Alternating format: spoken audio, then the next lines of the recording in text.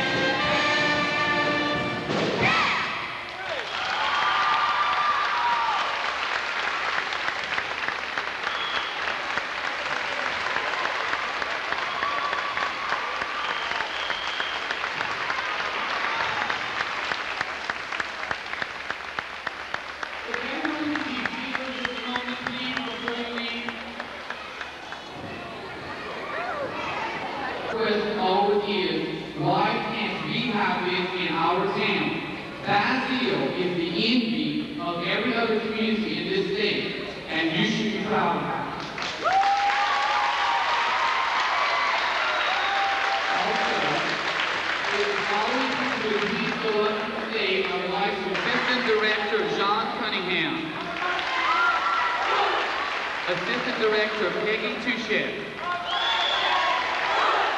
Our bus driver, Mr. Blaze Leonard.